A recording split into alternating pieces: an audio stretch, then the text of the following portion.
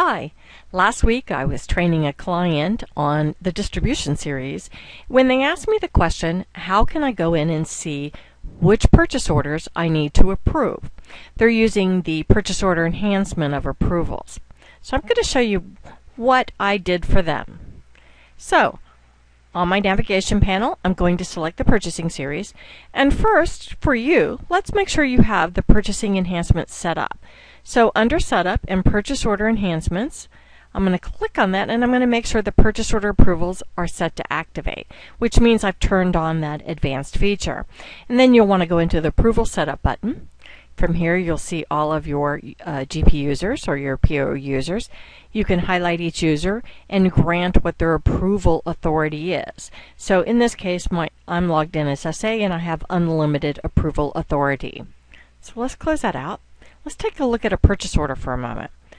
My first purchase order is unapproved, and my second purchase order is approved. So that kind of gives us a little insight into what we have going on.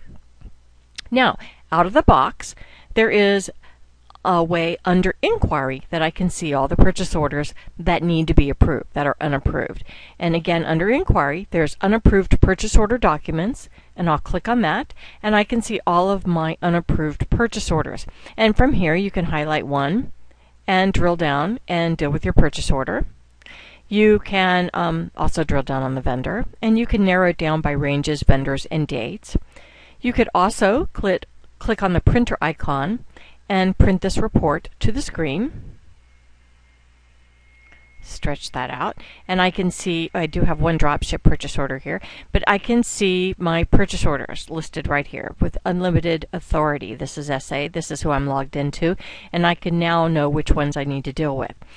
But with the use of SmartList Builder I've done something a little bit different. So, and I've even created the export files and you can download them with this blog posting if you like so that you can see, um, you can import them yourself and then you won't have to do any of the building.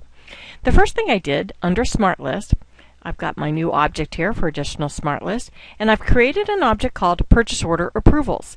And if I click on that, I can now see the status of all of my purchase orders um, approved, unapproved, and so forth. And I can narrow down my list this way just using standard purchase order uh, processing. So I'm going to choose uh, is equal to unapproved. And now I can see my five documents.